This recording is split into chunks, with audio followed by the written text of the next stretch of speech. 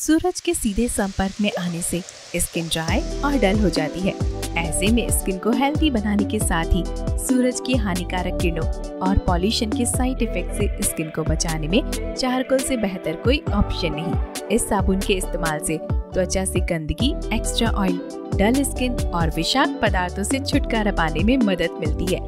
साथ ही ये त्वचा को डिटॉक्स करके टोन भी करता है। क्योंकि आयर हाथ के इस चारकोल सूप में चारकोल के साथ साथ नीम, एलोवेरा और तुलसी के गुण भी मौजूद है। इसलिए अब स्किन को करें मॉइस्चराइज और बनाए इतना सॉफ्ट कि आप अपनी सॉफ्टनेस के लिए जाने जाएँगे।